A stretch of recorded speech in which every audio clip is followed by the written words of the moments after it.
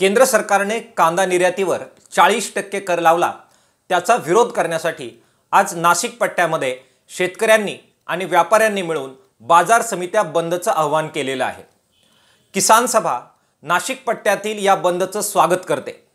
केवळ नाशिक पट्ट्यातच नव्हे तर सबंध महाराष्ट्रभर शेतकऱ्यांनी रस्त्यावर येऊन आणि बाजार समित्या बंद करून केंद्र सरकारच्या आणि राज्य सरकारच्या शेतकरी विरोधी धोरणाचा निषेध केला पाहिजे.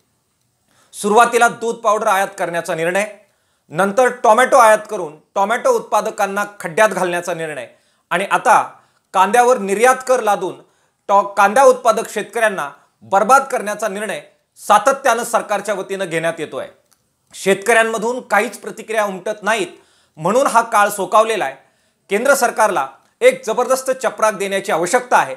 त्यामुळे सबंध महाराष्ट्रभर शेतकऱ्यांनी रस्त्यावर उतरावं आणि बाजार समित्या बंद ठेवून सातत्यानं केंद्र सरकार आणि राज्य सरकार ज्या प्रकारे शेतकरी विरोधी भूमिका घेत आहे त्याला विरोध करावा अशा प्रकारचं आव्हान किसान सभेच्या वतीनं आम्ही करतो आहोत. एबीपी माझा. उघडा डोळे बघा नीट.